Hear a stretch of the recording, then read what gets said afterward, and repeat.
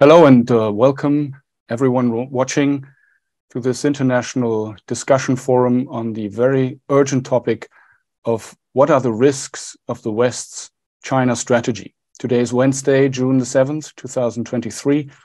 My name is Stefan Ossenkopf. I will be the moderator today, and I'm joining you currently from Berlin in Germany.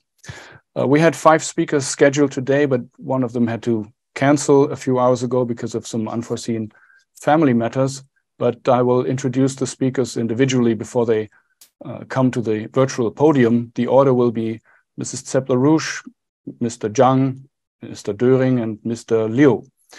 Uh, presentations will be around 15 minutes, maybe one or two minutes longer, and afterwards we will have up to 60 minutes of discussion uh, about questions from you, the audience. So your questions can be entered into the questions and answers chat room below.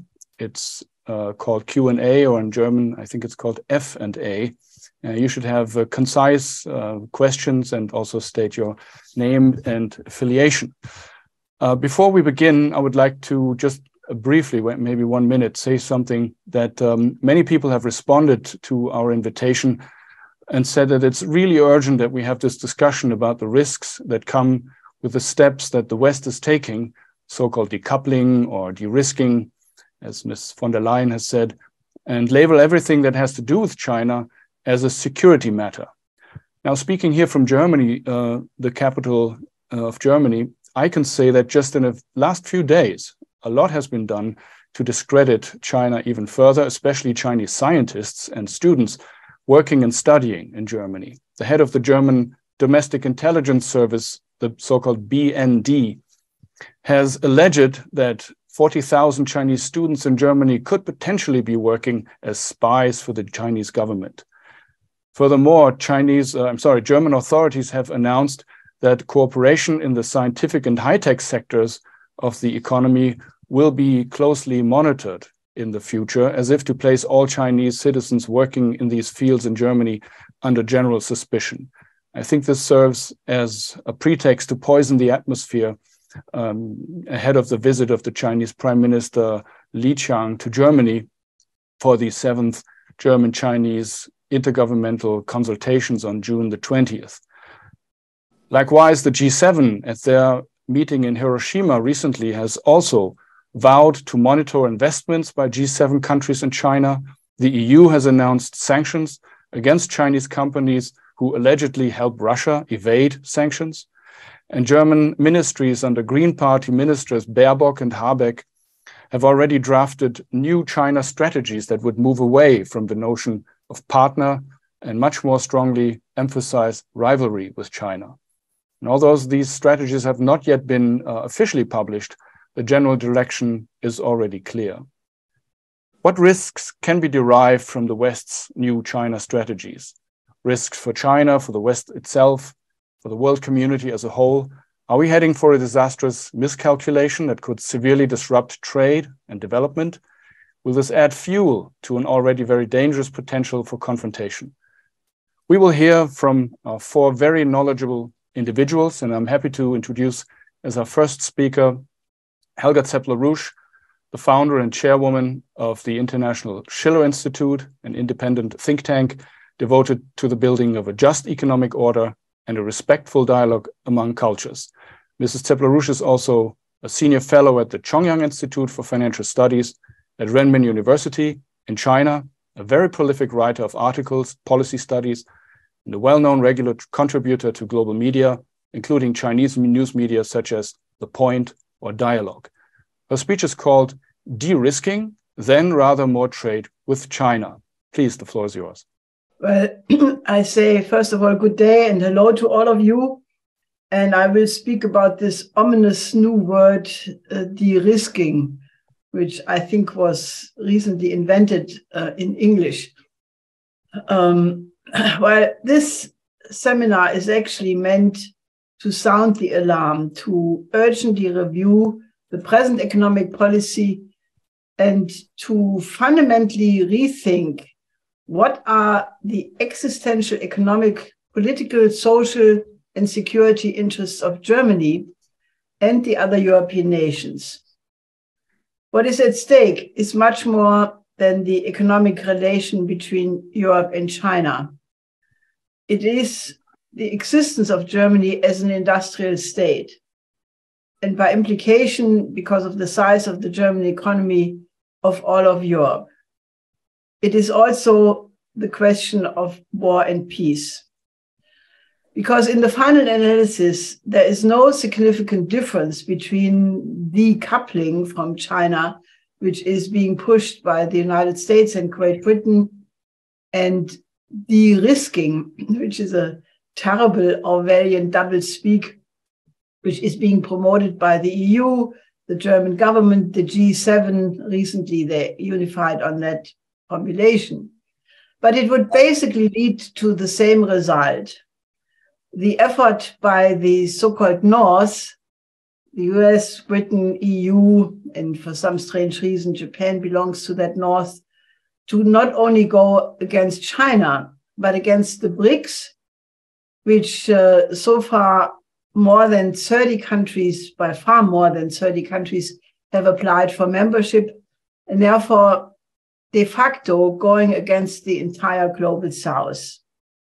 Recently, the former president of Malaysia, Dr. Mahathir, made the assessment that the threatening separation of the world into two separate economic blocks would with certainty increase the already horrific security crisis and almost certainly lead to a new world war, World War III.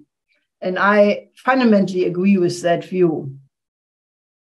For the German economy, the so called de risking, which is really a code word for geopolitical confrontation, would mean the final blow. The sanction policy against Russia has not so much hurt Russia, which essentially replaced the brands, the German brands VW, Conti, Miele, etc., with the Chinese brands, Chery, Great Wall Motors, Geely, Xiaomi, etc.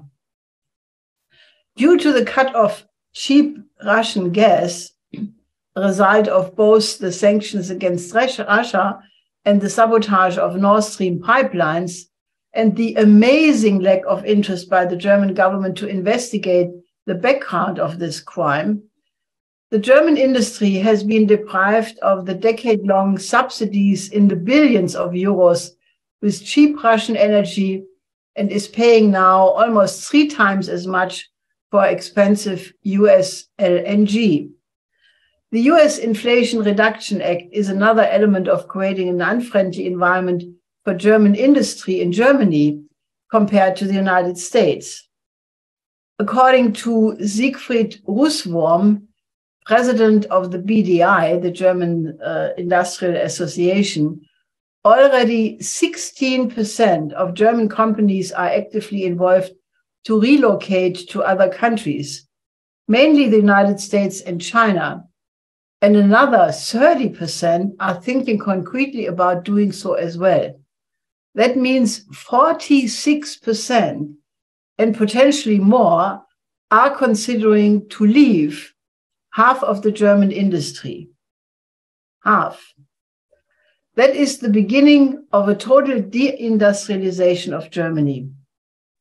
Furthermore, as a result of the decade long prioritization of low energy flux dense investments, so called green technologies, the logo made in Germany is no longer a point of attraction of excellence or even the and even the German photovoltaic industry long heralded as potential a potential world champion has since replaced by by China has been replaced by China.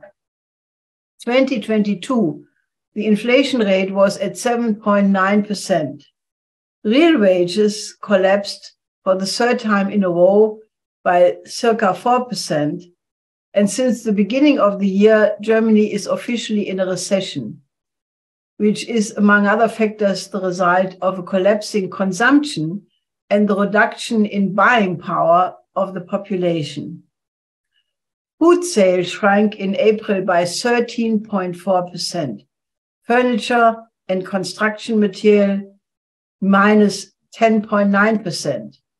Deutsche Bank just issued a report that a default wave is imminent in the US and the corporate sector, but also in European high yield bonds.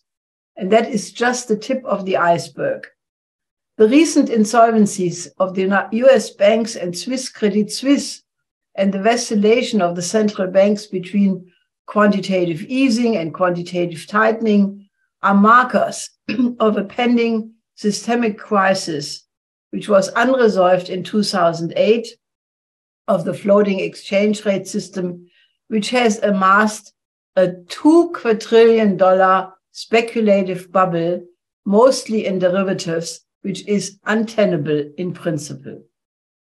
For Germany and other European nations to demand to disengage from China, no matter what languages, what language one uses for that, it is suicidal.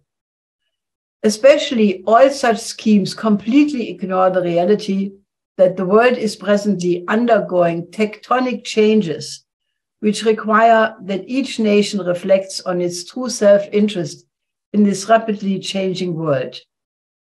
First, for some time, but especially since President Xi Jinping initiated the Belt and Road Initiative 10 years ago, this largest infrastructure and development project in the history of mankind has completely transformed the dynamic in the world. 150 nations and 30 large international organizations are cooperating with the Belt and Road Initiative. An enormous number of projects, development corridors, industrial parks, fast speed railways, highways, ports, energy and agricultural projects, etc., etc., have given these developing countries for the first time the chance to overcome poverty and underdevelopment. Contrary to the mainstream media stories about the so-called debt traps, these countries learned to regard China as a reliable friend, which means it's serious with its win-win approach. While the transatlantic system is teetering on the verge of disintegration, the growth figures in China and Asia in general were only slightly reduced due to the pandemic, but still reflecting the fact that the Chinese economy remains the true growth engine of the world economy. Second, instead of taking the rise of China as an opportunity to take up China's offers to cooperate in the development of the Belt and Road Initiative as a way to transform the countries of the global south, the United States, Great Britain, and increasingly the EU started to characterize China no longer as a partner, but more and more as a competitor and rival with consequent policies of attempting to stifle China's economic growth.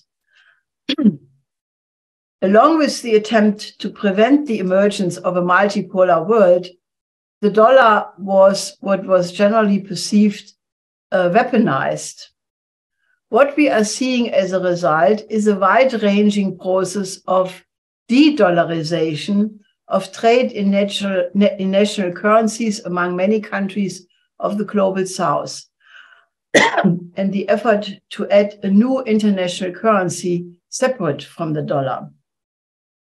The main aim of these efforts is to create an independent means for credit creation for investment in development, which are presently impossible under the regime of the World Bank and the IMF conditionalities. President Lula of Brazil heralded the new development bank headquartered in Shanghai as the coming great bank of the global south. Obviously, the 150 countries working with the BRI, the BRICS Plus, and many other organizations of the global south do represent the vast majority of the human population.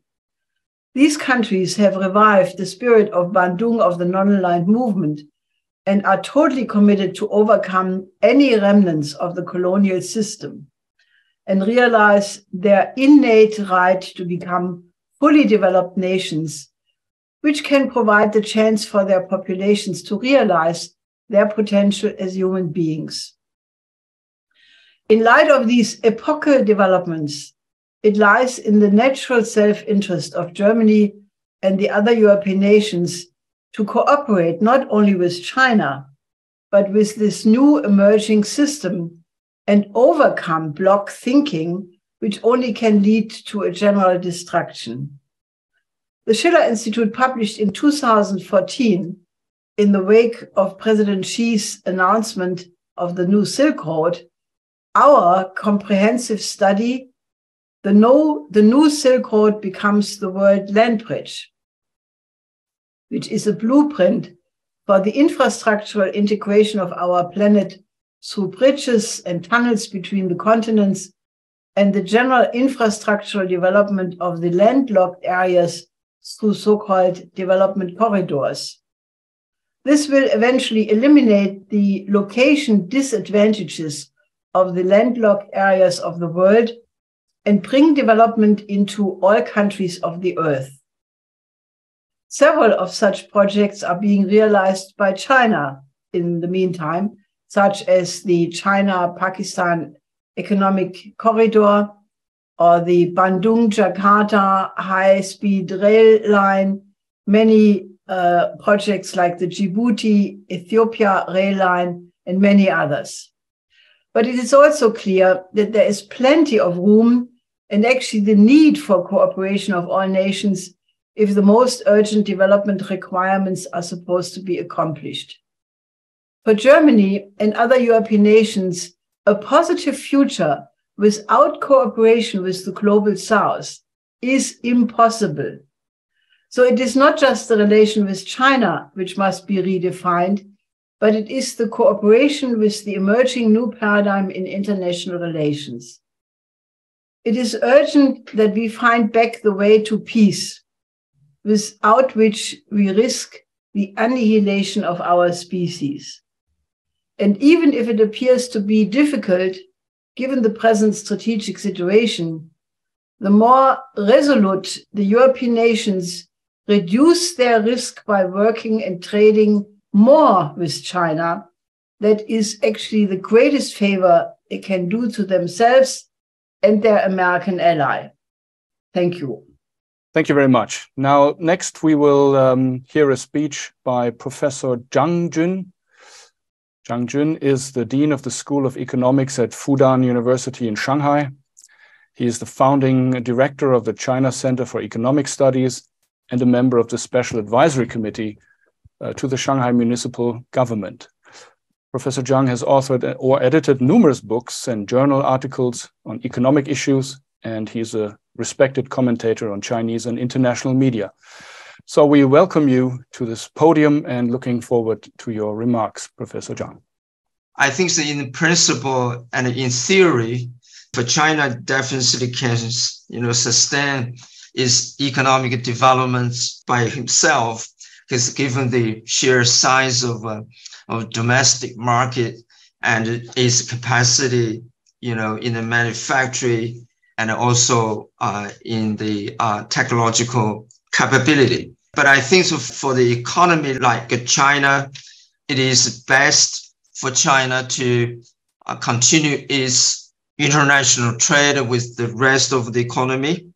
I think China is still, you know, a middle income country. So which means that China needs uh, exports and import uh, with the uh, rest of the global economy. But if you look at the other way, you know, for, I think Western economies also, you know, depend a lot more with the supply chain of China. I think maybe this is something that uh, I would say asymmetric tension between China and the and the West. You know, as economists, I, I think the Western economists may think that it's much easier for them, you know, to find out alternative to the supply chain of China. But China would find no option but, you know, develop such supply of technology by himself.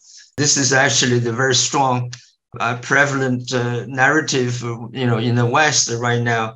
So many times I was, you know, asked by you know foreign friends about about this issue i always reply by saying that yes this is true that uh, for for instance for the us for germany you know it could be easier uh, for them to find out the alternative even they're still going to pay pretty high costs having the uh, substitute for you know chinese supply of uh, intermediate and the, the you know capital equivalent you know something like that.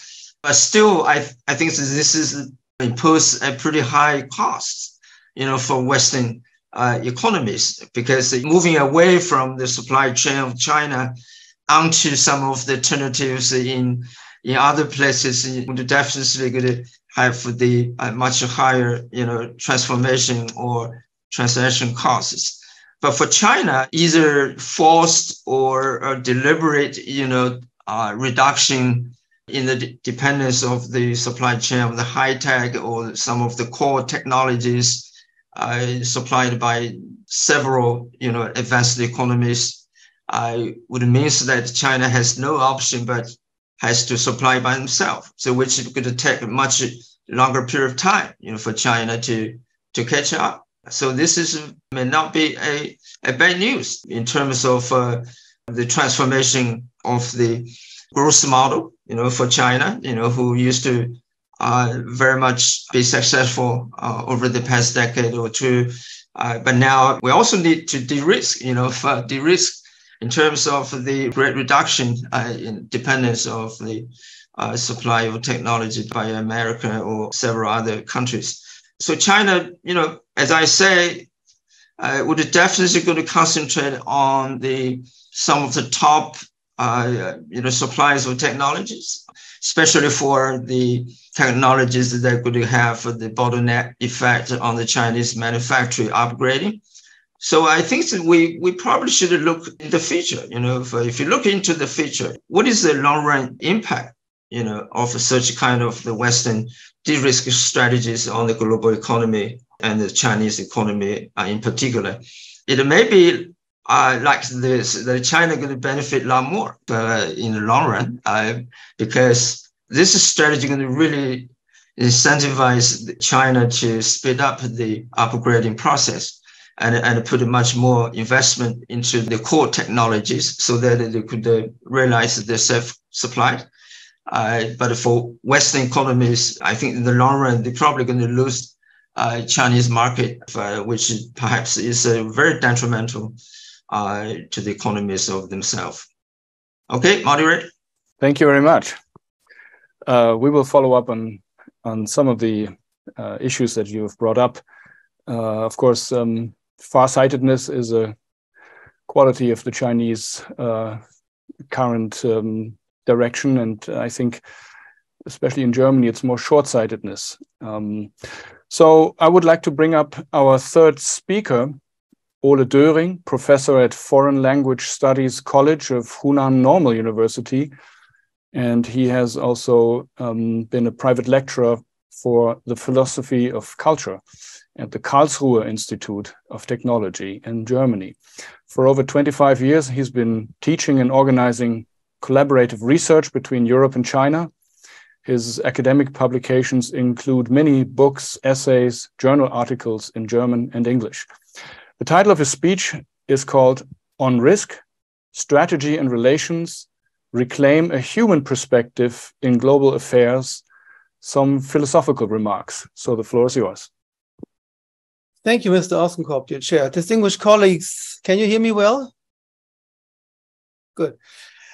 Greetings to everyone listening, watching, and participating in this forum all over the world. I'm speaking to you from Changsha in Hunan, South China.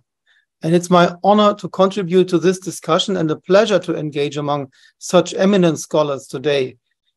This pleasure would be even more profound if it weren't for this sad occasion. Let me start with a few comments regarding the title of today's forum. I'm not sure if the wording of the title is uh, duly expresses how deeply serious, unprecedented, unfortunate, and entirely unnecessary this confrontation actually is. Can we call the erratic and reactionary behavior of the US and her allies regarding China a strategy Driven by base instincts, it appears as a reactionary rather than as the result of responsible planning. Fueled by opportunism, greed, or fear, it remains erratic. Now, strategies can predict and be predicted, but volatility must be checked. After 1989, transatlantic allies have entered a mind zone called the end of history, in which constructs more and more have taken the lead over real experience in matters of orientation. Mental constructs are powerful, driving our imaginations. They are difficult to distinguish from concepts, but their distinction is crucial. This discussion dates back to antiquity when philosophers such as Plato or Zhuangzi discussed the difference between truth, similarity, and pretense, and the dangers from not being able to identify which is which. Basically, constructs merely need to be plausible to some in order to be effective, not true. They make us see the world as a game board where we can control and manipulate the operations. Concepts must work in real practice. They depend on real knowledge, real learning, and real experience with real people and in the real world. There are heuristics to unlearn and new understandings to be acquired cheating and even honest errors can lead to harm and even disaster under conditions of our increased complexities in our world. Obviously, understanding involves care, patience, and best use of all relevant resources over time. We know since Kant that concepts without experience are empty, experience without concepts uh, are blind. But we also know um, that we can make them work together meaningfully when we engage in the intelligent operations of reason. That is, making proper connections and making relations appropriate. Without roots and branches in real life, what looks like concepts are simply constructs, namely soft technologies without human value and purpose. They are wishful thinking at best and lunacies under most conditions. Debates over constructs such as systems or normative identities, when they describe human entities as mere objects, change the game we are playing, making it idle when we take the assumption of control for granted. In such a manner, contextual concepts such, such as race, gender, nation, and even culture have been deprived of their real meaning and become weaponized, as if they were technical implements in a warfare. Moral concepts, on the other hand, such as dignity, have already been ridiculed and reduced to utilitarian calculus. For example, and especially in bioethics and by transhumanism. Now, the ethics regarding life and big data processing are integrated into the even greater context of language and AI supported gadgets, with ChatGPT and the metaverse campaigns as icons of our immaturity the Tower of Babel is crumbling once again. With it comes the loss of a perspective of balance and proportion, while the vain builders are trapped in the self centered refusal to adapt to the changes of history and find humane responses. Propelled by a mythical framing of AI, our cultural regresses uh, and disintegrates uh, even faster than before. The primary outcome of this de development is disintegration. The secondary is alienation, ultimately hostility and war. The overwhelming evidence indicating a course of corruption instead of healthy path is the continued and enlarging process of disintegration from the communal micro levels in many societies to diminishing confidence in politics in the first place. There is no strategy at work here and it is not likely to emerge when continuing along the way of modeling through with no cultural reference such as humanism and enlightenment. The West needs fresh input of realism and pragmatism in order to regain a humanistic balance. Such input can come from peoples and cultures who are eager to learn and willing and able to share. Obviously, this makes China the number one choice as an ally especially in questions of global stability, healthy economy, ecology, and a sense of humanism. We cannot talk about strategy where not even the tactics align in making sense, because they only serve to weaken all nations, countries, societies involved, including humanity, for the short sighted benefit of only a few. It is telling that the proposed measures against China are always cloaked in incoherent accusations and false descriptions of a nuanced reality. However, more important than analysis of failure, we are advised to overcome the blaming game and rehabilitate an attitude of respectful collaboration. Second, and very much shorter about the title, risk means the probability of an unwanted outcome. When we consider the kind of outcome presently in reach, describing the pattern of behavior in terms of risks is an euphemism. We are witnessing real danger, not just the probability of harm. We are experiencing real harm. The mess of international affairs has gained such a magnitude that reason demands hope for the resolve itself to go on. But where can such hope come from?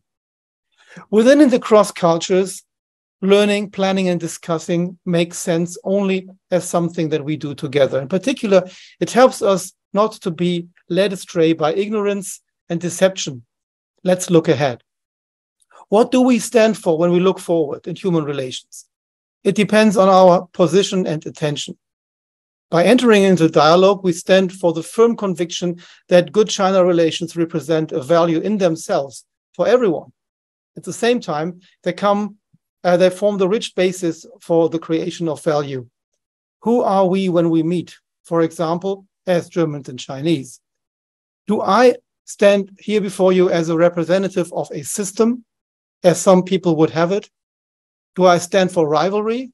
Am I supplying, uh, am I simply a human being, or can I even, quoting Confucius, offer friendship when coming from afar in the spirit of a learning community?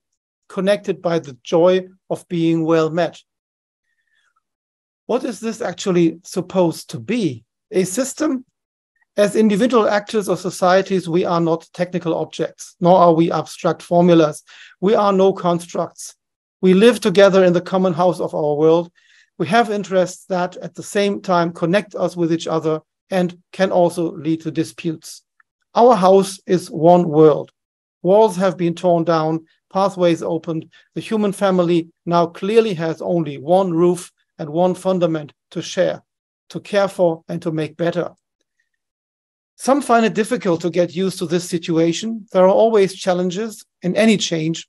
Forming a household is an ambitious endeavor.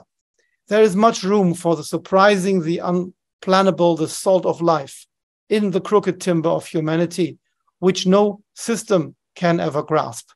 There is little to fear, but a lot to be managed. Fear and suspicion are the worst advisors among new acquaintances, unless the option of friendship has been tried and ruled out. In the case of China, Europe has never tested and tried it seriously on the level of equality, not even after Leibniz or Matteo Ricci and a few others first opened promising entry points. Now we have the chance, and honestly, no other option but to try it seriously. There are different values and convictions based on experience, some of which we share, some of which help us to address irritations with patience and confidence. We benefit from wise housekeeping. Housekeeping, that's Greek for economics. Since China's full membership in all organs and institutions of the United Nations, we explicitly share this legal, ethical, and moral foundations. Science and economics form living interrelationships are constantly in flux to ensure stability and prosperity. Who would have thought that as being realistic? 51 years ago, when our diplomatic relations were reestablished. For some years now, we have been in the process of repositioning ourselves, not least due to the opportunities and challenges of the new Silk Road. The structures and lines along which we orient ourselves and work together are becoming ever finer. Stereotype thinking or iterating past cliches does not do justice to this fabric. Sclerotic attitudes contradict the need to account for change. Nothing is new about this. We can make better use of our change management knowledge under conditions of global modernity. Fortunately, we have in fact already grown so deep and close together that an unprecedented mix has emerged. In some areas, we are on equal footing. In some fields, Germany is doing very well. In others, China is now setting the standards. You can't just order decoupling and possibly at the same time get worked up about alleged authoritarianism.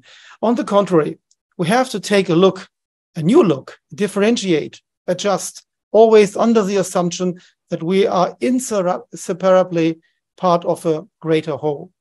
There are much better concepts than the clumsy metaphor of coupling to capture the sense of connectivity for the Commonwealth of Nations. Decoupling betrays a plumber's mindset and way and may just as well be flushed down to the drain. In order to understand what we should pay attention to, we can confidently trust Confucius.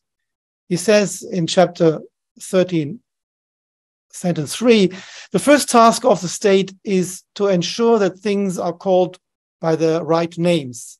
Zhengming.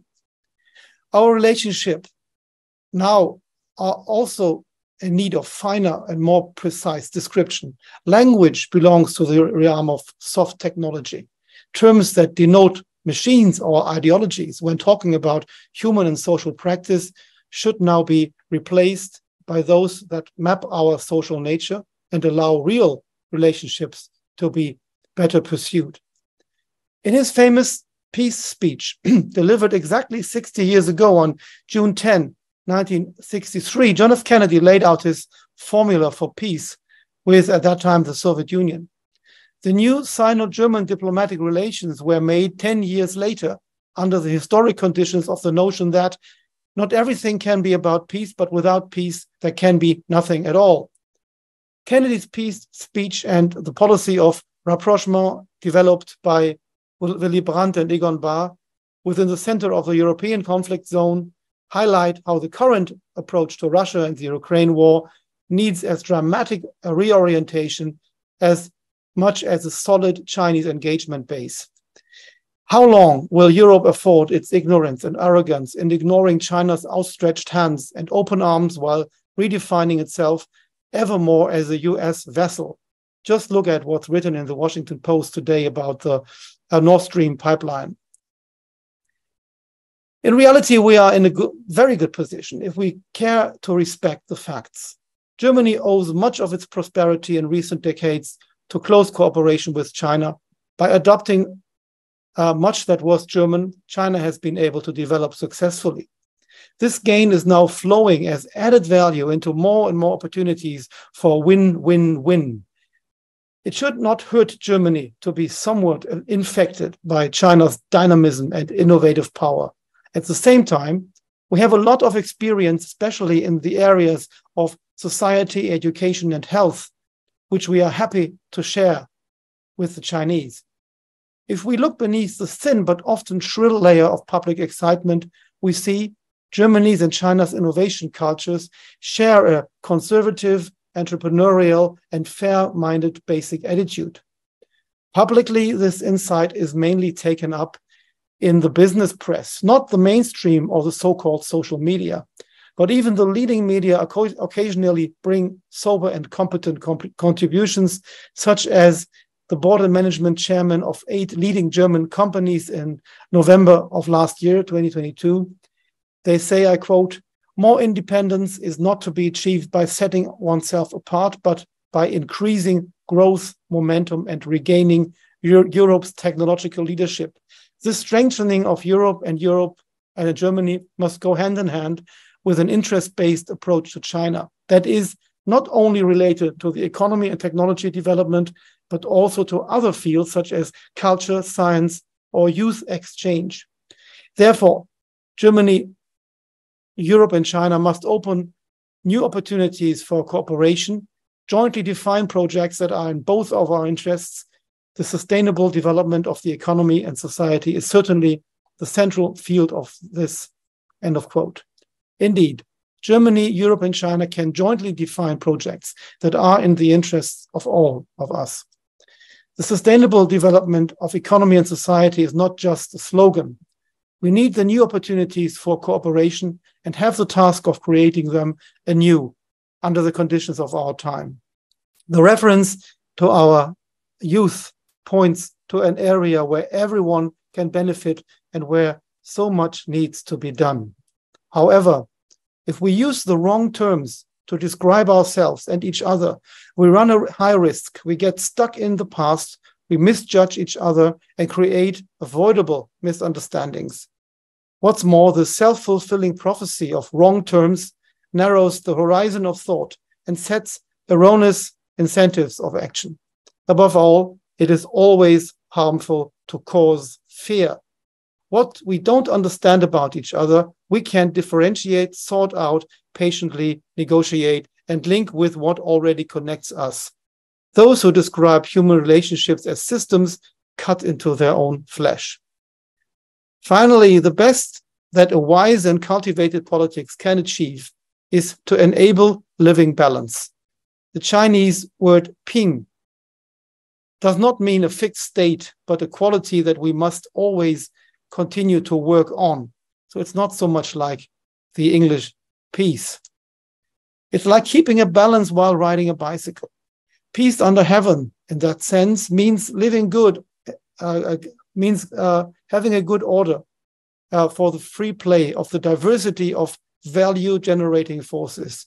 And this is what is written as the ultimate lesson in the classic, the great learning, the Daxue. Another canonical text that connects China's ancient world with our world today, if people would just read it. This is also a gentle hint at China's strategy, and here the term strategy really applies China's strategy to tell China's story to the world doing this right is a challenge and a huge opportunity, not only for China. Thank you for your attention.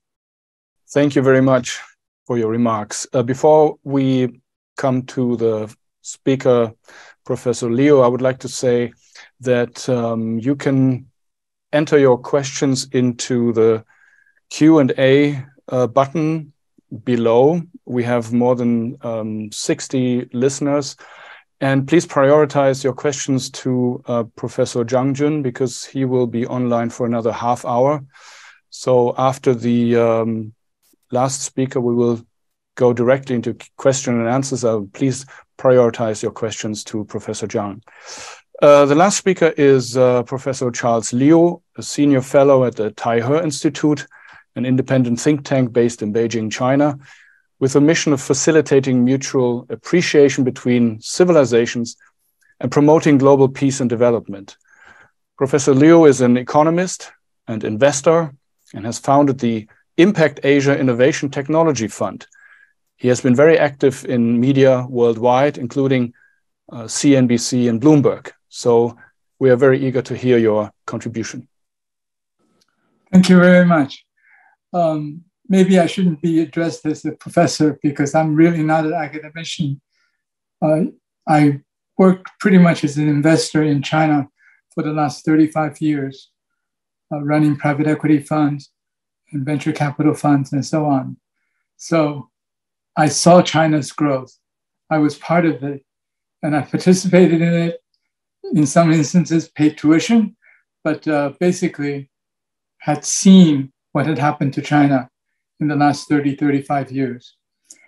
What happened in China, I would call, is not just China, it's the growth of Asia, the swing from the west to the east.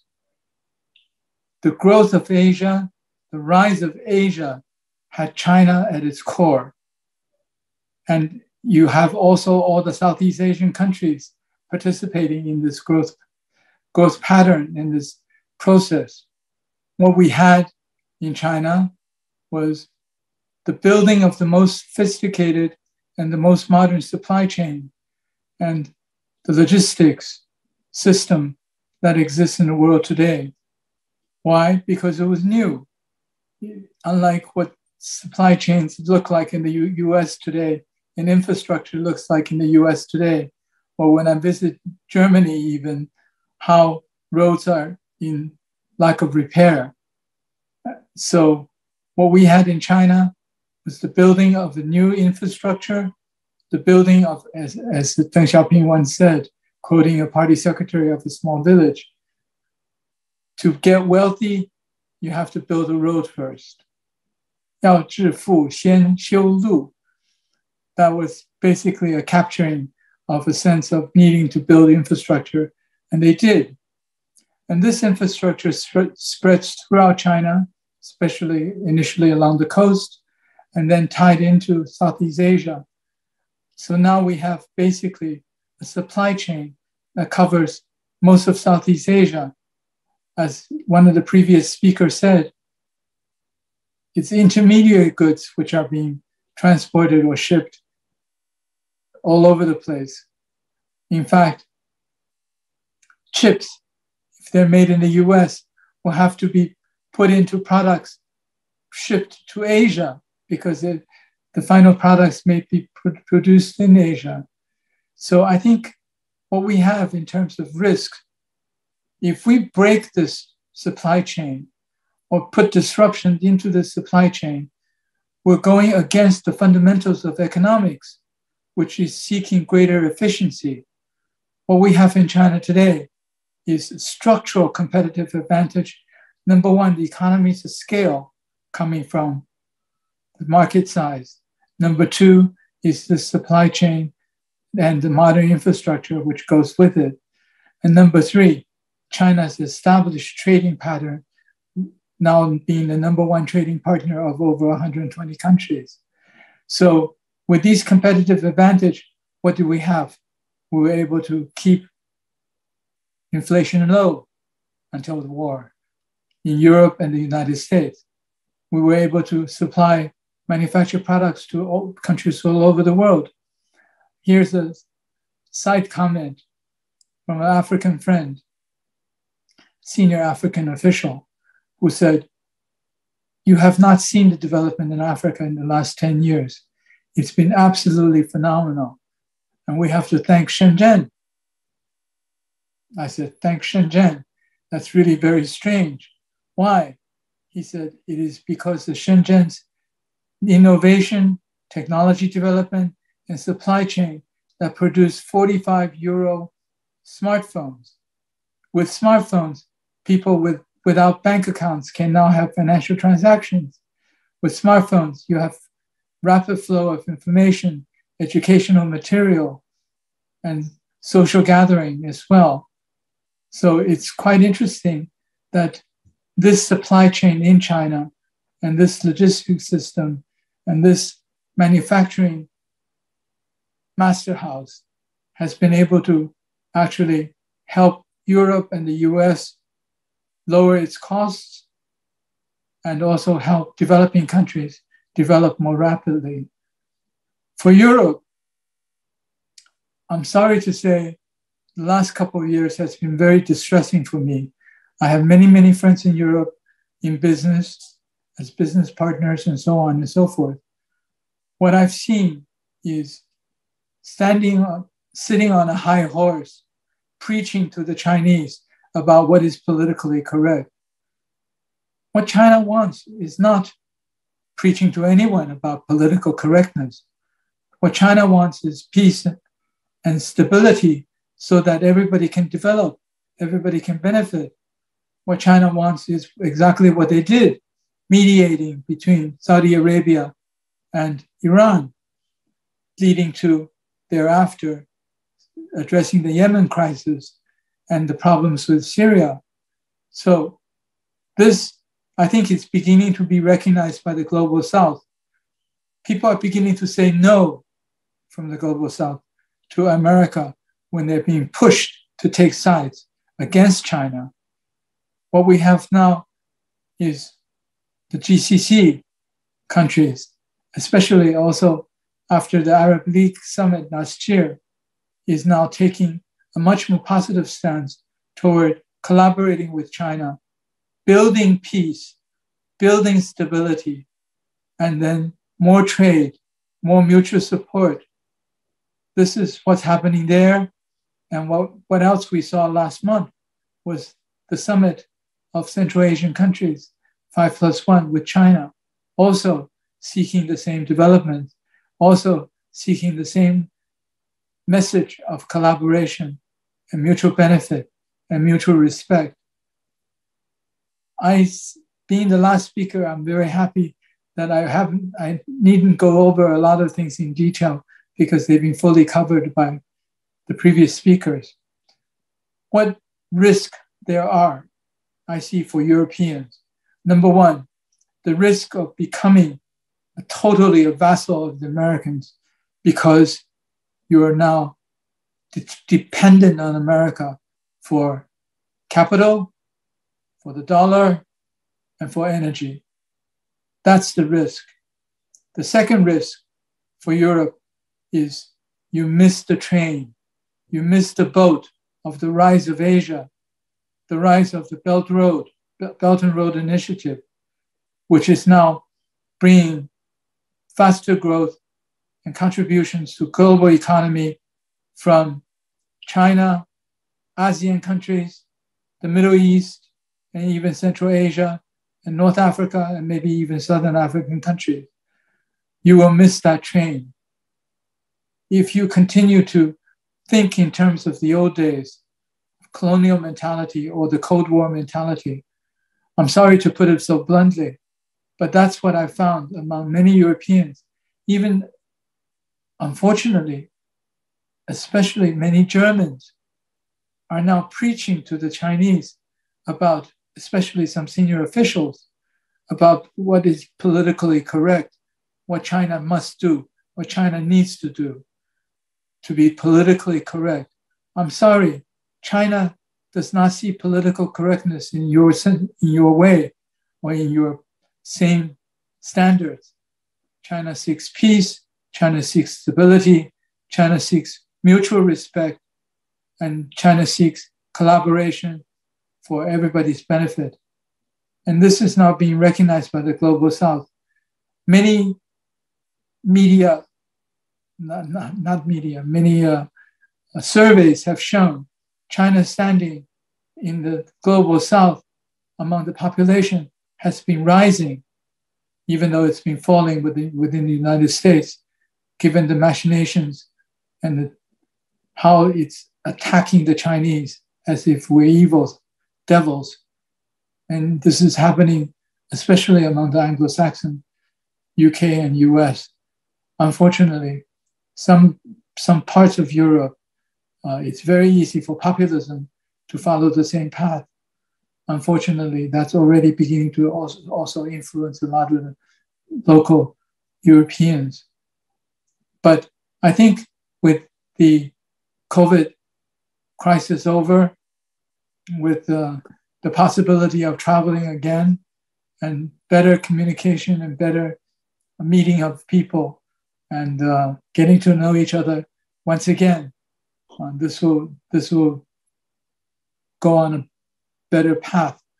But then the war is, of course, uh, going to be there to impact on this because many Europeans, and many Chinese who want to go to Europe are now having trouble with flights because they cannot fly over Russia. So now flights are very few and far in between and very complicated. But um, I hope things get better very, very soon and very quickly. Thank you. Thank you, Mr. Liu. I would like to now open the discussion, and I think the first thing would be to give uh, Professor Zhang the opportunity to um, make a comment or remark on what he has heard so far by uh, Helga Zepp-LaRouche, by uh, Mr. Döring, and Mr. Liu. I think you have to unmute your microphone first. I have uh, this opportunity uh, to make comments on the uh, previous speakers, right? and I think the think about China's rise as a, um, as a phenomenon is really kind of um, inevitable, uh, you know, process of um, uh, restructuring the Chinese economy in a way that it, you know is very similar uh, to that of Japan, uh, Asian tigers, you know, because uh, we we really share same strategies, in, especially in the 1990s when uh, China uh, decided to, I think, give up the having chemical uh, strategies on the top priority and then move on to the export export promotion strategy.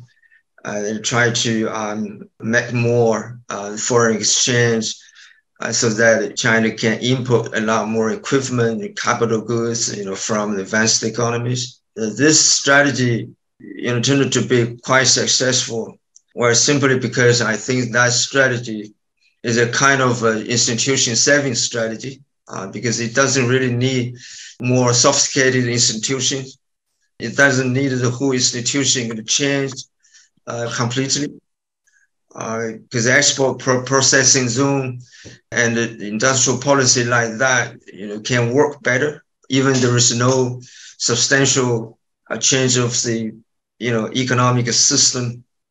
You know, it could definitely going to uh, save a lot of institutions. So this is a kind of the uh, a quite minimized, you know, uh, quality of institution strategy, and it used to work uh, for Japan, also for uh, you know, Korea, and, you know, other tigers. So I think no country, uh, especially if you look at other countries independent from, uh, I would say, the uh, colonial time of uh, for many many years. Uh, you know, and the West for become independent, they always promise. I mean, the the government, the government always promise to the public that you know we're going to uh, find out the effective strategy to industrialize the whole economy and I look around in all the cases, you know, after the World War II, I think they all have the same um, propensity to choose the uh, import substitution strategy, because I think they're going to help us a lot to honor the promises to the public.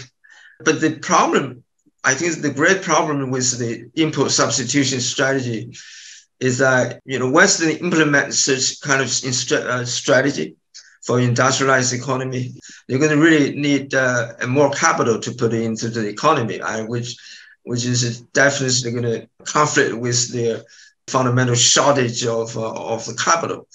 So it's very very difficult, very hard for them, you know, to begin with the uh, industries that need more capital uh, put into the economy. So such strategy cannot sustain, uh, you know, in the long run because uh, facing the great shortage of foreign exchange, so that they cannot really upgrade their technology.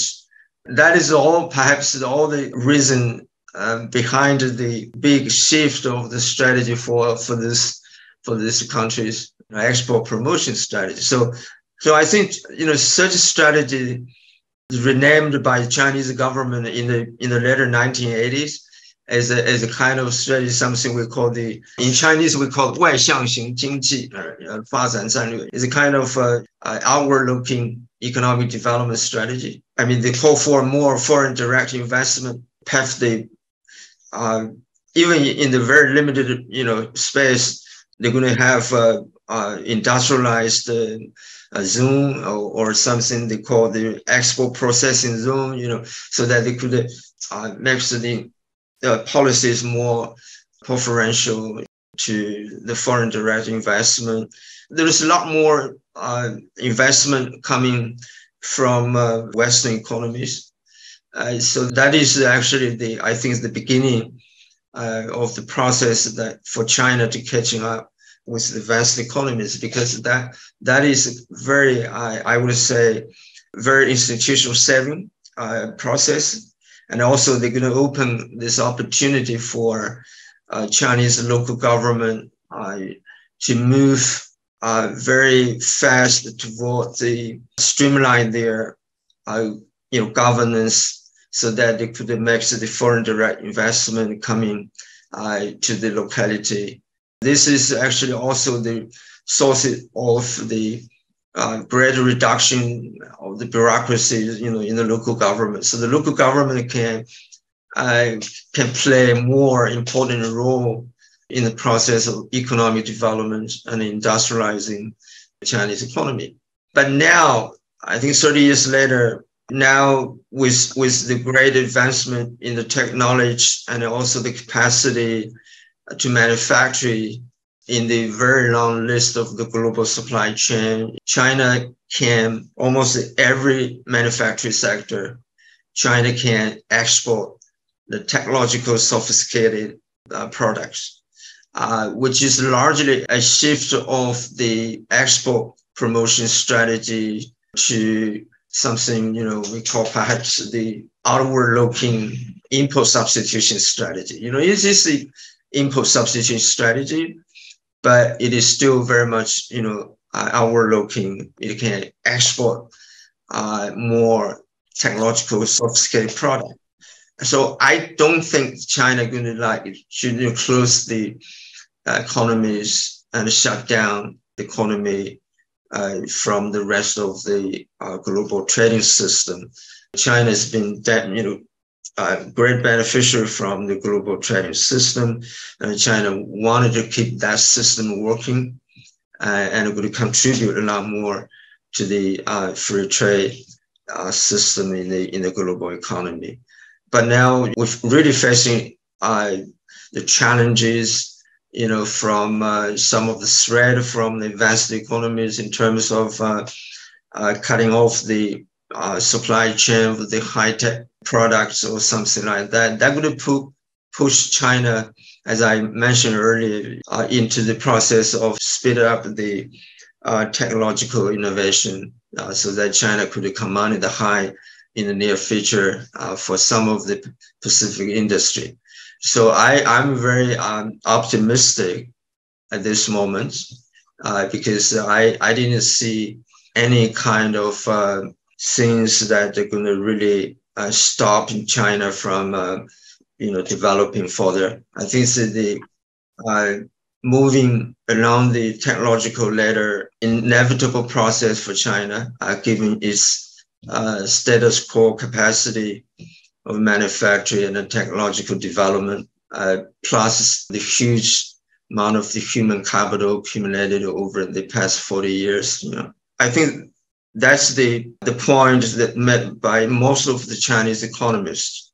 We don't deny that, uh, you know, we have some challenges in the short term. But I think if you look at the fundamentals of the Chinese economy, because uh, it's highly marketized and as market players uh, are looking for any kind of, uh, you know, alternative to try to, uh, you know, survive uh, in, in such kind of uh, uh, globally unfriendly environment. So I, am pretty sure that maybe 10 years later, you know, I think uh, we would have more evidence uh, to support the will of most of the Chinese economists' hopes at this moment and uh, believe that China can successfully uh, climb up to the top of the uh, supply chain so that China perhaps can ahead of for the most Western, Western economies substantially, you know, reduce the, you know, dependence on the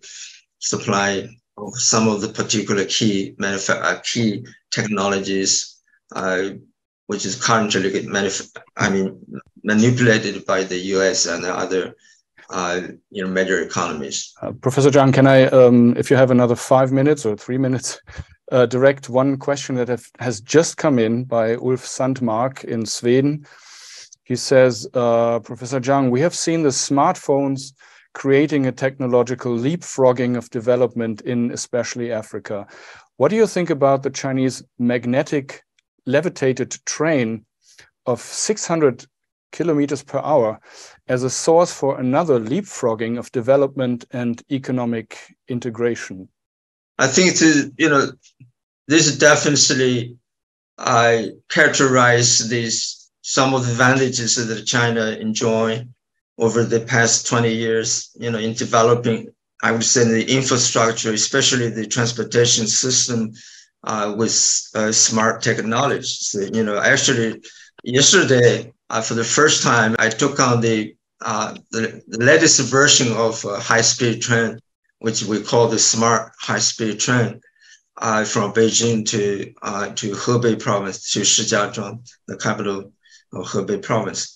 Uh, that's the first time that, that I, I had a such kind of experience, which is really amazing. I think that is uh, a kind of the you know potential that it could be highly exploited by the, the way that the China developing its its uh, capability in mass construction or capital construction, which is really fundamental to the economic development. And I think China can uh, export such kind of technology. I, you know, for, as you mentioned, and uh, also a part, a large part of uh, China's foreign, uh, the outbound investment is an investment which is related, highly related to the uh, to the infrastructure construction. I think if you look at most of the advanced, most of developing economies today, the very big bottleneck is actually the great shortages of the capacity to expand their infrastructure network uh, including the, the high-speed rail, uh, rail and, and also other transportation means. And China, you know, has been leading in that way. You know, for, uh, it would be a great uh, opportunity for China to cooperate with more developing economies. Uh, I think this is one of the ideas that for um, you know Road Initiative, you know, because we we really can um, you know help a lot of uh, economies uh, in Asia country or Africa or uh, you know other developing high or uh, high performing economies. So this is you know a, a, great thing I think for both China and and other economies. So if you look at the uh, what has China done over the past ten years in terms of outbound, uh, you know, foreign investment from China. I think most of the investment really gone to uh, the infrastructure. If you look at what happened in Africa, what happened in in Middle East, in, in South in South Europe, I think it's the infrastructure-based investment. It's not a kind of investment uh, that are trying to uh, you know, squeeze out the local manufacturer or local uh, jobs, you know, it's actually created a lot more jobs for them because this is something they desperately needed. And also this is something that China can help, you know, help out. Thank you. Thank you very much. Um, I guess that your time is now limited. Yes. Okay. Yes. Thank you very much for joining us with your valuable insights. See you at the next occasion. See you then. And if uh, Helga Zepp-LaRouche, I would like to ask her for uh, her comments on what she has heard from the panel so far. I think that uh, I can only hope that we can distribute this uh, event to as many people in Europe afterwards as possible because what Mr. Liu said is so true, you know, the high horse.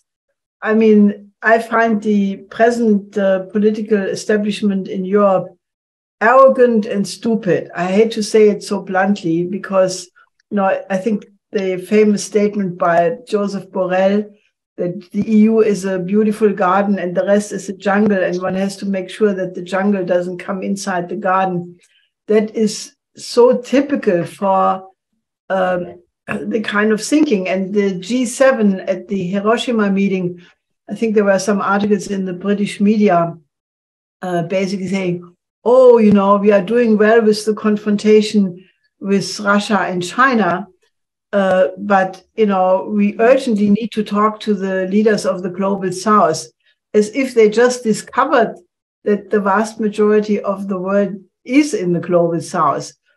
And, you know, I think that right now, you know, I would hope that the German and French and Italian and other industries wake up to the fact that their existence is at stake. We have a bankruptcy wave in Germany, which is unbelievable. Uh, I mentioned in my initial remarks that almost half of all German firms are planning to leave Germany because the conditions no longer exist. So we are really looking at an existential question. And the best thing which can happen, you know, is that the countries of the global south make their voice more heard. And, you know, and I have been advertising that a lot. We have to have a complete change in perception because otherwise, and I agree with uh, Professor Zhang, you know, one has reason to be optimistic about the future of China because China has proven a, an incredible innovation power and resilience against attacks. So I'm not worried about China, but I'm extremely worried about Europe. If we do not get our act together, I think Europe will be a relic on the sidelines of history, and you can study uh, Germany and, and other European countries in the museums soon of the global south as a civilization which didn't make it. I, I know this sounds hard, but I, I'm really very, very concerned that we get a way of cooperation and stop this, you know, confrontation, which can only lead to the disaster for all of us. So let me direct the question to Professor, no, to Charles Liu. I'm sorry, I'm, I have this professor in my mind now stuck. But this comes from um, Liliana Gorini in Milan, Italy. And uh, she refers to an article that Professor Fabio Massimo Parenti wrote some days ago in uh, Global Times on the high risks of the Italian economy if the government of Giorgia Meloni accepts the pressure from the US to cancel the memorandum between Italy and China on the Belt and Road Initiative signed in 2019, which is very important for the Italian economy. What is the view of Professor Liu on this memorandum? I think uh, it comes back on a macro basis to what I was saying before. As we just heard uh, from the previous speaker that uh, Europe is really in trouble. Deindustrialization is taking place. It's not just cheap energy from Russia, but gas is also a natural. Uh, it's also a industrial input. It's a very important industrial input for chemicals.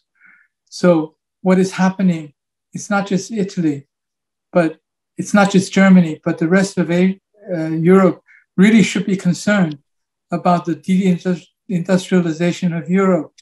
And if Italy moves away from the Belt and Road, I think uh, it's a signal that it wants to join the US in punishing China, in other words, and leave not only the mass market of China, but also the Asian supply chain, which is now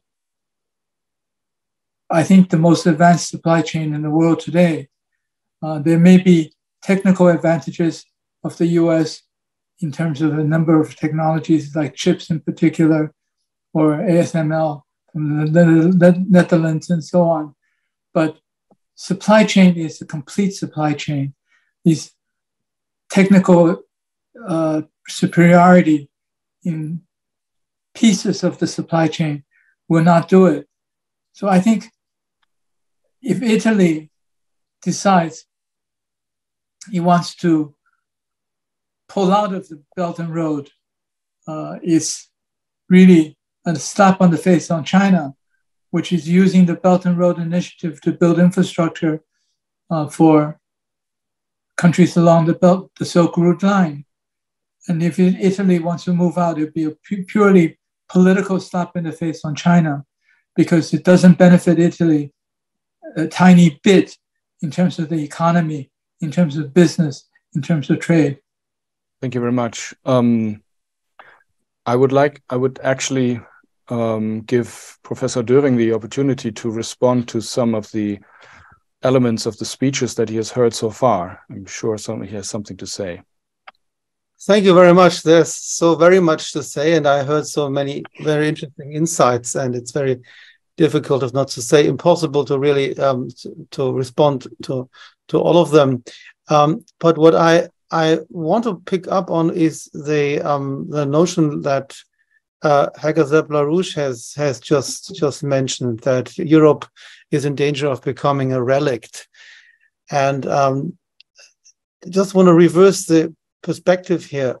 Um, this is not in the interest of China, and China has expressly said that many times and demanded that Europe will really, uh, not for for reasons of well of of Europe's interest, but for reasons of China's and the world's interest, uh, to to not to waste all the, the valuable um, things we have to offer in terms of culture and economy. So I think this is this is extremely important that this is uh, something that is not just in the European interest or the German interest, but we have to think about it globally. And this might be the real crux of the matter that we have forgotten what it means to be European in a global world. And um, um, uh, let, let, me let me refer to, to the, the issue of, of, foreign investment uh, for to make it very uh, very concrete. We are usually talking about um, foreign investment in terms of hard capital influx and talking about infrastructure building and financial markets and, and these things. But what is going a little bit unnoticed is an area where I believe there could be a huge added value for, for all sides, on all parts, on the economic and the cultural and the political and the social levels. And that is the investment in the area of tourism.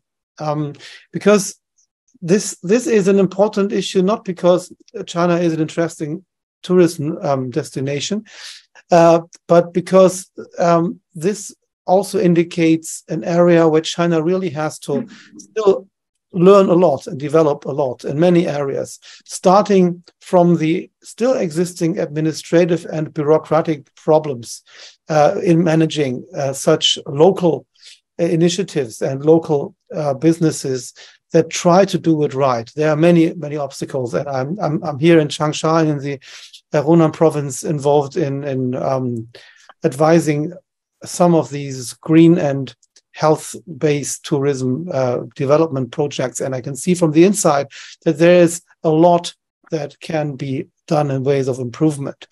Uh, of course, this cannot happen if the, the European market is not uh, well strong and interested there must be the demand on the European side. But we don't know about what we can actually benefit from going to China as tourists. Is not just to watch Taoism, Buddhism, and Confucianism or great new industrial projects. This is, of course, very important. But we have totally ignored the fact that China is a new green powerhouse. It's a, a powerhouse for building uh, urbanized health visions and uh, real experiments and successful experiments, because they are always trying to learn and adapt in the area of um, modern city building. And when we talk about cities in Germany, we still believe that, that this has to do with, you know, putting bricks everywhere. But uh, here we can see, uh, when I'm looking out the window, Changsha is an extremely green and open city that has been a kind of masterpiece in urban development.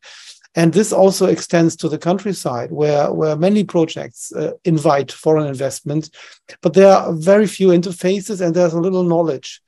But the most important thing is that when I'm mentioning that uh, we can benefit from this new motto or the slogan to tell the China story, from the fact that China has not been doing very well itself in this regard. Um, I'm teaching myself students here at this Hunan Shifan last year who who want to to translate basic information for tourists who want to become tourist guide or uh, even teachers for tourists experts and they are operating on a very very uh, basic level of both language and cultural knowledge so this is an area where actually a lot can be accomplished. And once the capacities for the soft skill development in the area, what I would call cultural diplomacy, just to indicate the ambitious and also forward looking character of these kind of industries that are coming, then we can imagine how new spheres and new opportunities for collaboration on the ground for meeting of people of all age groups and all professions in China and of course in Europe and all over the world that could, could be a model for, for many other places. There is such a vast potential for exponential growth, and this will be sustainable if it's done well. So, this is just to indicate that there are opportunities that we have not even begun to tap into. Um, and I feel very much encouraged just to, to, to finish this part of the, the this chain of, of, of, thought. I've been very much encouraged by the recent developments uh, in the Chinese leadership's uh, uh, public statements about the importance of history, of philosophy, of uh, understanding, and trying to rejuvenate the the um, incorporation of classical and historical knowledge and skills. And everyone is aware that the methodology for doing that is not very much advanced. This has to do with the ways in which China's education system has been modernized, according especially to, uh, to American models in the last 30 or 40 years. And it also indicates that there is a felt and an objective need for a holistic approach to science and education, which still people in, in uh, continental Europe and some institutions there which still harbor this knowledge. So there is there are some born allies, I think, for Chinese strategy here as well on our side. So let's not forget upon Europe, but let's encourage the Chinese side to really invest also in these roots, not look too much only at the well the top strata because they are not top usually at least not what as far i agree with Helga Zepp-LaRouche on that as well our leadership is not a leadership at all um, they're a disaster so we need responsible and capable people we have them but not on that level so let's find a way to connect these people between china and the rest of the world thank you Thank you. And before I direct the next question to Ms. Zepp-LaRouche, it's also about the BRI. I would like to say that yesterday I talked to um, a, manager in the automotive industry, and he had he was in China for many times, and he had worked on his CEO telling him how China is and so forth for five years. Uh, uh, but only when he, the CEO, finally uh, came to China with him, his his eyes explo- uh, opened, his mind exploded. He was completely uh, blown away. And now he's come back and said, nothing that I was told about China is true. It's completely different. And of course, these complete transformations, that's, I think, that we're looking for. This is just an individual one, but he is already planning a trip and organizing more CEOs to go to China in October. Now, the question that has come in is from um, a party called the Workers and Family Business Party uh, of Switzerland, and it's um, about the Belt and Road Agreement that Switzerland has cancelled, and Germany, I think, has never has never um, signed one. Uh, and the person wants to ask: Is this um, because of the political climate created by NATO and the USA? What can we in Germany and Switzerland do to stop this, apart from spreading the idea of friendship and cooperation with China?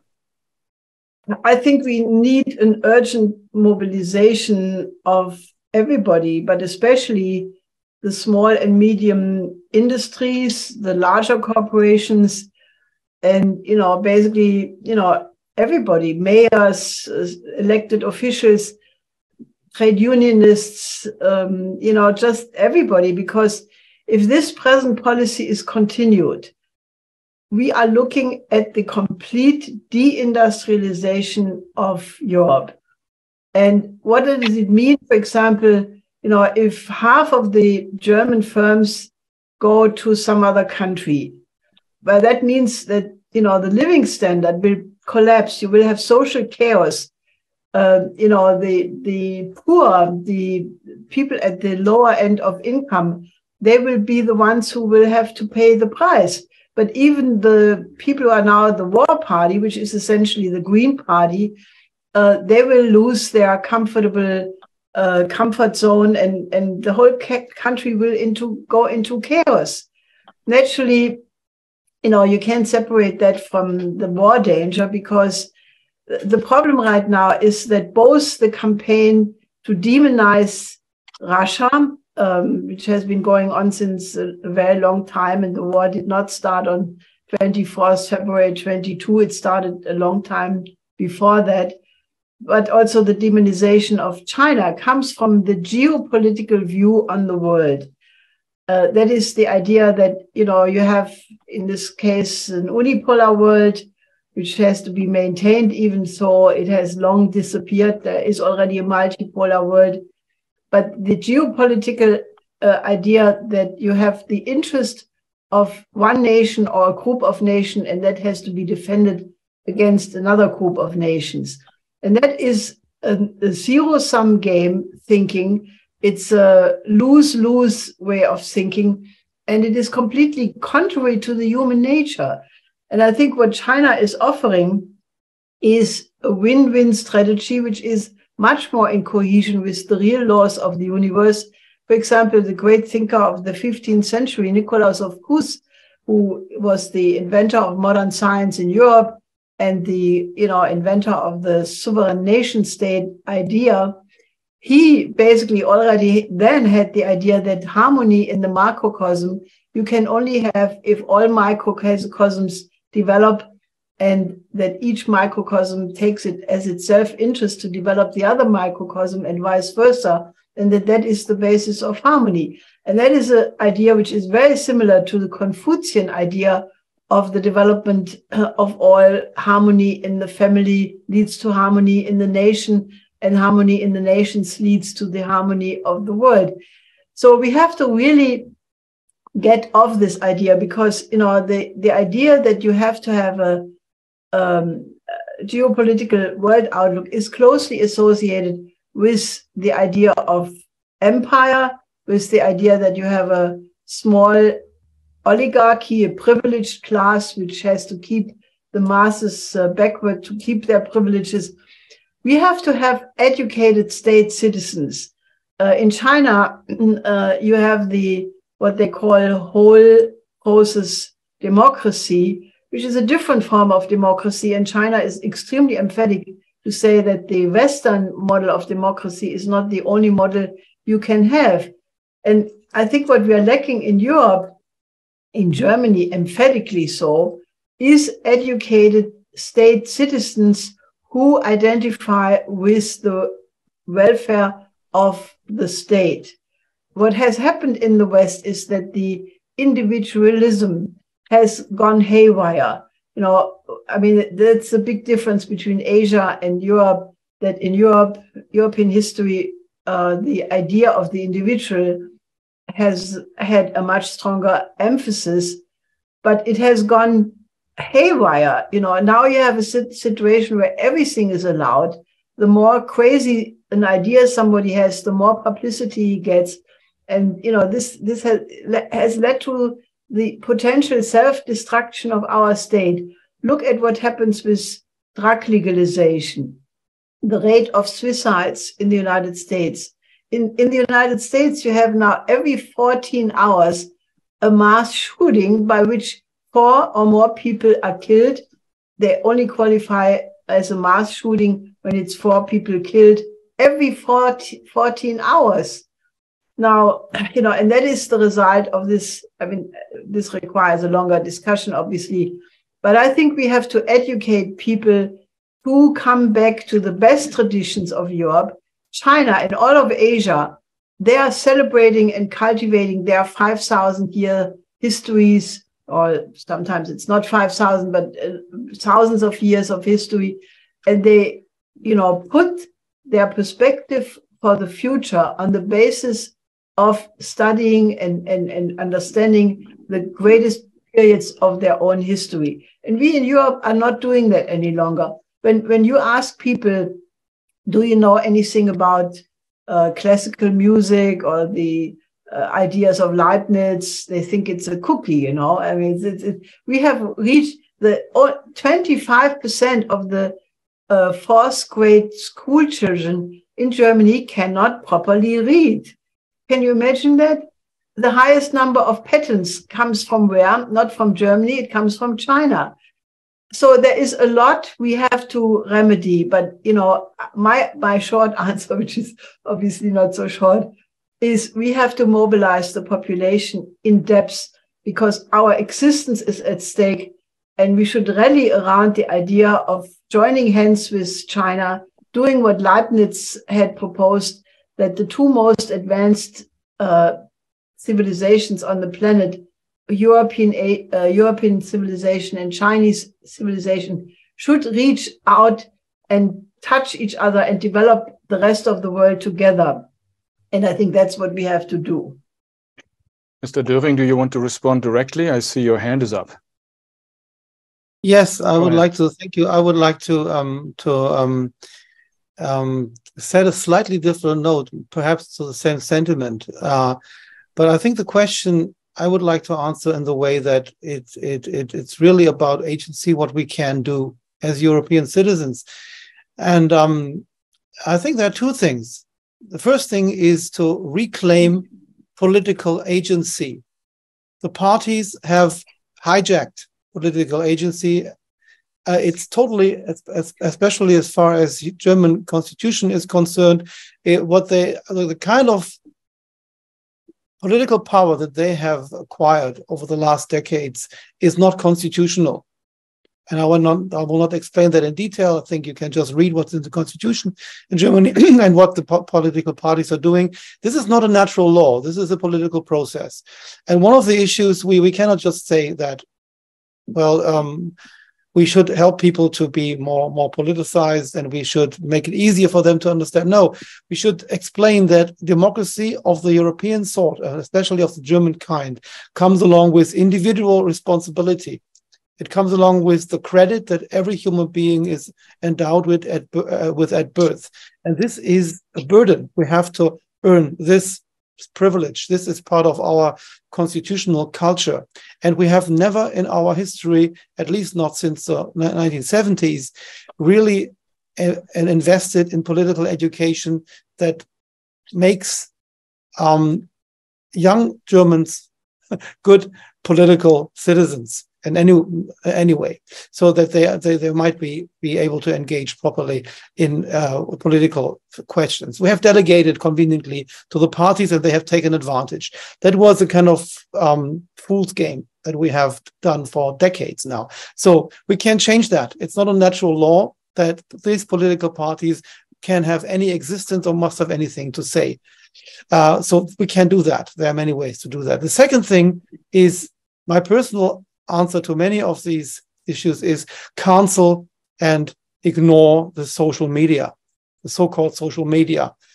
They are an ignition um, hub for, for, for uh, all sorts of animosity, um, misunderstanding, uh, all the bad things that, that, that human character will show when it's, well, not forced to show itself in the protection of anonymity. Democracy requires to show your face. And if we have the means to hide, then we are not uh, enabled to, uh, uh, to behave as mature citizens with responsibility. So if we either ignore and cancel or very radically reform the, um, the public discourse in the way that it goes back to the basic rules of decency and democratic culture, then I, I fear that there will be no future for European democracy. Then that, this, this might give rise to those or might support those people who say that human uh, that, that, European democracy might have been a good idea uh, for the ancient Greeks and the way they did it. By the way, they did not actually elect their their their um, leaders. Uh, um, this is an interesting um, side to remark, uh, but that there are other political models that are more suited for human conditions. I would not subscribe to such a view, but I would emphasize that democracy comes with a high burden, a high cost, and we have ignored this burden, this responsibility um, at the at the price of the what what we see now in terms of the total corruption of political culture. Thank you. Thank you, and I have a question directly to uh, Mr. Liu, um, which is uh, concerning the role of the private sector, but of course bringing in much much more. It says that if the private sector can make a profit, it is interested in cooperation and does not need political tensions. Therefore, as many companies as possible must be shown concrete prospects for win-win situations. It is important that the Chinese side brings concrete requirements and topics for economic and scientific cooperation to Europe. My question, what sources can Mr. Liu recommend for this? Where can we find information on this? That's very difficult to answer because different sectors in the economy are totally different. Uh, in terms of the infrastructure, it is mostly state-owned enterprises which are undertaking the major, uh, the major projects along the Belt and Road. In terms of uh, technology, in terms of consumer products, in terms of uh, electronics, each sector is very, very different. I think uh, just like how China goes out and makes investments abroad, they have they send teams out to make a market study, market survey, and the same has to be done to consider investments or projects in China. Um, I think, uh, as as previous speakers have said, you know there is a lot of misunderstanding, and there's a lot of uh, difficulties in really appreciating each side, European side and the Chinese side, because of this lack of understanding. Um, one thing which is very positive, I think, is at least from the Chinese side, um, young students are keen to learn about what's going on outside. They want to learn about Europe. They want to learn about the education system in Germany. They want to learn about the US. But I think it's not reciprocal. What is happening, though, is increasingly the developing South, the global South, is moving more and more toward China. Uh, as Confucius Institutes are being shut down in the US and parts of Europe, the first one has been opened in Riyadh, in Saudi Arabia, and the other Gulf Cooperation Council countries as well. And plans are for Central Asia as well, and also ASEAN countries. So I think um, I think there is a need for more exchange, more understanding, uh, and in terms of the business cycle or the business circles, um, the thing to look at in China is number one, it's a massive market. Number two, it has great infrastructure. Uh, as a very senior German government official who was in Beijing two weeks ago, and I were talking about this, talking about mobile payment with Alipay and WeChat Pay. And he pulls out his wallet and it's all stacks of cash. He said, We're still on paper in Germany. And coming back to what the previous speakers have talked about in terms of maturity of the politicians, I, I'd just like to give a little anecdote. Watching TV one night with a bunch of friends my age, which is older folks, uh, in China, they watched demonstrations in the US of people who refuse to wear masks or to be vaccinated. And the slogan is, it's my freedom of choice. And this is where my Chinese old friends started asking me, you know US, you lived there for 30 years. How can they say this? That means their freedom to not wear a mask means their freedom to spread the germs to other people. How can they be so extreme? This is something that I think is what is being referred to by both speakers before. Democracy does not mean freedom without responsibility, without responsibility to the rest of society, to other people in the country. But unfortunately, in the US, the extreme versions of freedom, like to carry guns around, to spread guns all over the place, and drugs, is now the prevalent role. Thank you. Thank you. Let me bring up a question to Ms. Zepp-LaRouche about the BRICS, the role of the BRICS in bringing about a peace. I mean, we know the role that Brazil plays and also China with a peace plan. But the question comes from Thomas Böver. Um, he thinks it is in the hands of BRICS to end the war in Europe.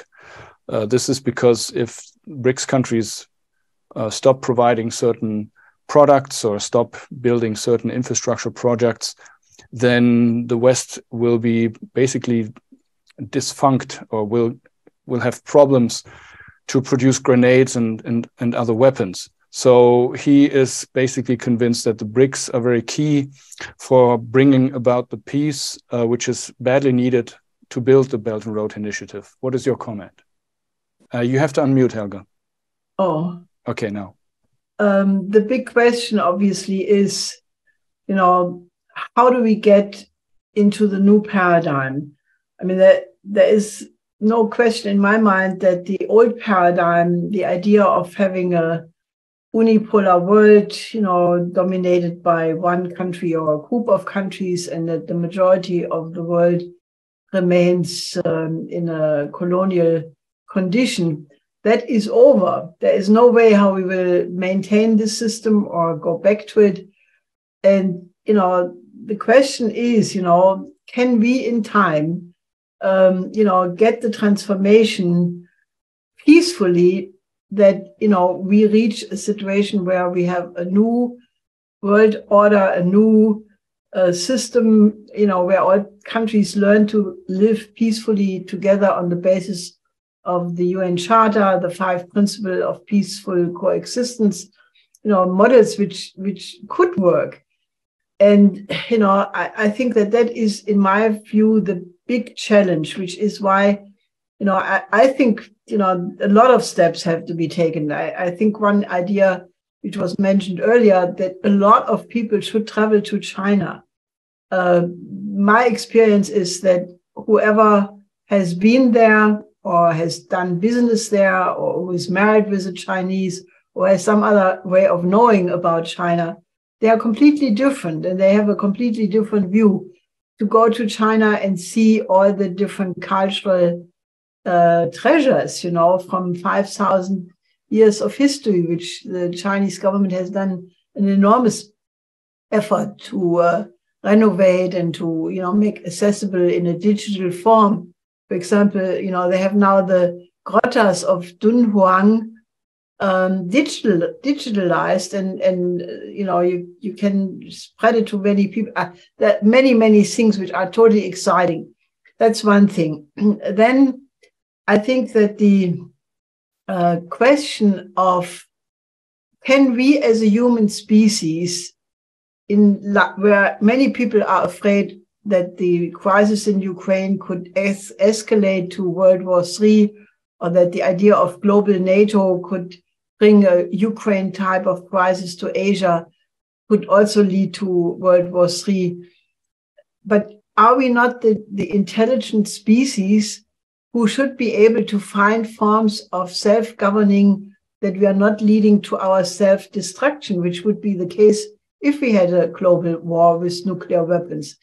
So I think that one other thing which I think is very urgent is that we find ways to put the idea of a new international security and development architecture on the table. Um, I have written 10 principles for that, which I would like many people to look at and, and discuss. It's a comprehensive approach how to organize such a new order. President Xi Jinping has come from another way he proposed the Global Security Initiative, the Global Development Initiative, and you know a little bit later the Global Civilizational Initiative, which together as a package basically is the same idea: how we get to a new order of affairs. And I think this is very urgent that you know we engage universities, think tanks, um, other organizations into that kind of a discussion in order to influence how we organize our future. We cannot sit there and say the present politics is wrong, it's dangerous, it's uh, crazy, but we have to actually mobilize, um, you know, institutions and universities, think tanks, and other gremiums to to contribute to the idea of how can we rationally form a form of co- cooperation on this planet, you know, which brings us successfully to a completely new time, a new, you know, like the modern times was completely separate from the Middle Ages. And I think that kind of an epochal change is happening in front of our eyes.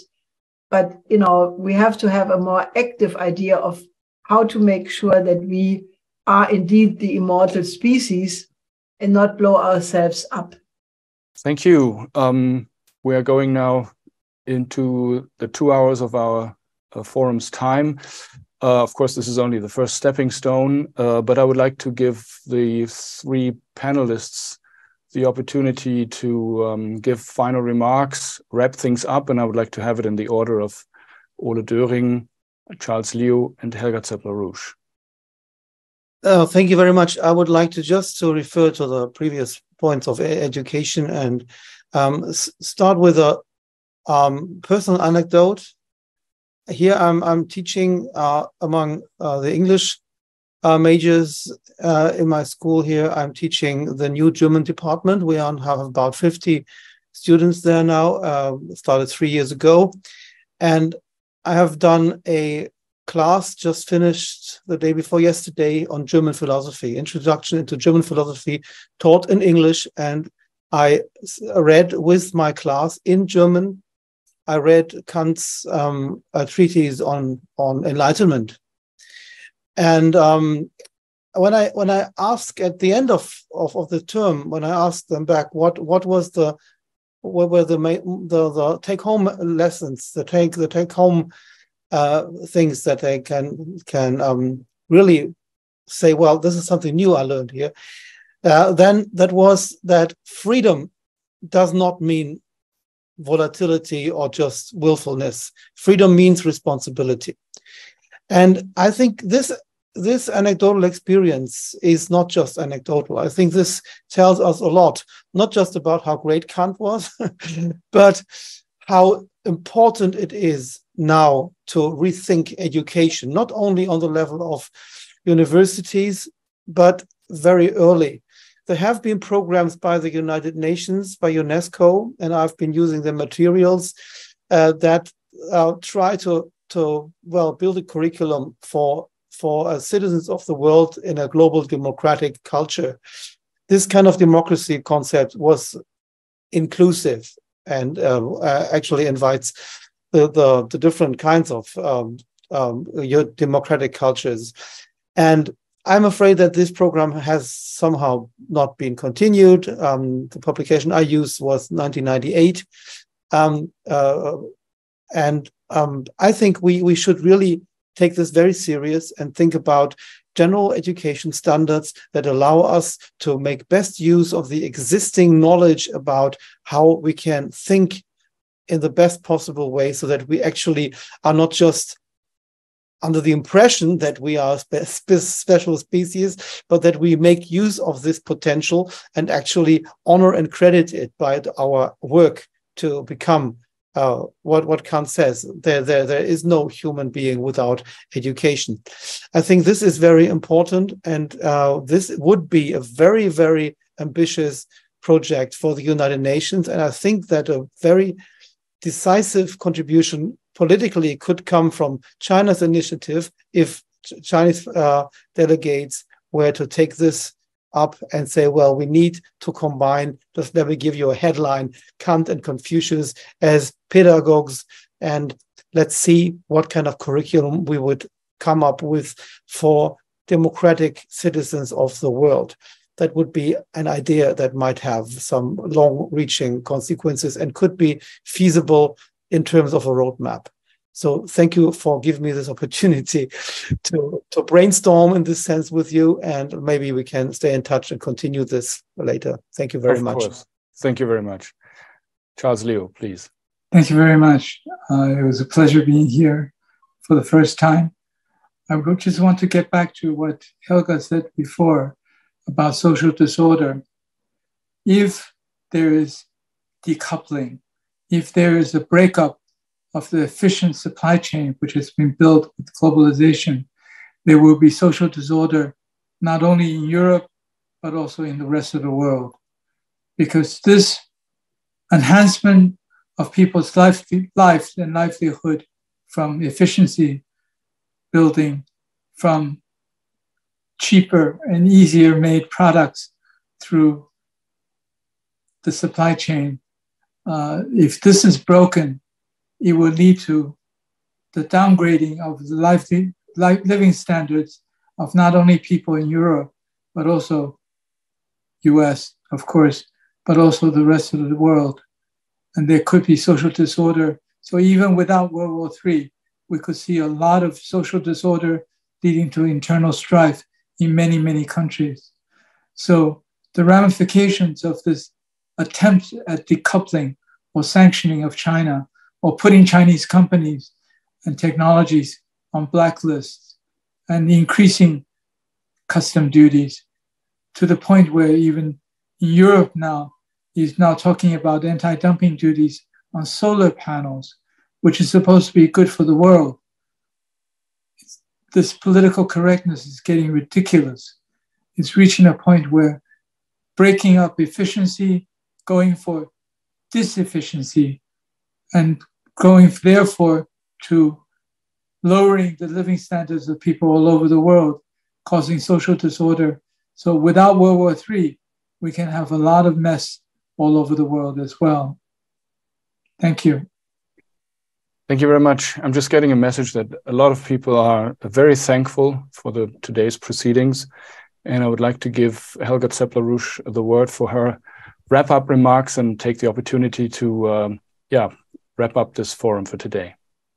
Well, let me thank all the other speakers for this uh, very useful discussion. And, you know, depending what the response is, maybe we should have a continuation of it because I think that the question of not having de-risking or decoupling or any of these things is really, really very crucial. So I think you know, if other people, other scholars, other, you know, professors, industrialists, investors would like to join this as a, as a more or less continuous forum, I think that may be an idea which we could explore. So we could have like a, a monthly dialogue or whatever form we could find, because I think we need to have more discussion about it. And I think, you know, the cultural element is also very important. I mean, there are many economic reasons uh, for the world economy not to de to, to decouple, and it would be catastrophic if you had the so-called North decouple from the global South at this moment of hope, you know, where we could really have a new era of, of mankind. And I think to accomplish that, to have a better knowledge about the culture of the other civilization or nation is really important. And, you know, I have advertised for a long time that the aesthetic education method of Confucius and of Friedrich Schiller are extremely uh, similar. Uh, I actually wrote a speech about, uh, made a speech about it, and I wrote an article about it. Uh, and you know, I think that the question of the image of man which Confucius has, you know, which is the Shunzi, and I'm for sure I'm pronouncing it to- totally wrong. It means the sage. You know, the idea that man has to develop his full potential and the beautiful soul of Schiller. Uh, these are ideals which I think are extremely precious. And I have been convinced for a very long time that the only way how mankind can somehow learn to live together is that each nation brings forward the best tradition and then communicates to the best tradition of the other nation and the other civilization. So I think, you know, people in Europe and the United States just know much too little about the great Chinese culture. And I have found that the Chinese people are much more interested in European culture. If you look at orchestras, for example, you have a lot of young Chinese who are in love with Beethoven, who are studying classical music. And, you know, I think we need to really work on this question of the dialogue of cultures uh, as well. So I thank you very much for your attention. And, you know, I hope to see you sometime soon in whatever form. Thank you very much. So thank you for the wisdom of the speakers. Thank you for the participants and their very challenging questions. I hereby close the forum. Uh, I think in Chinese you say 会议现在结束, and uh, would like to uh, wish everyone in the Western Hemisphere a good day or afternoon, good evening in Europe, and uh, good night, Wan An in China. See you next time.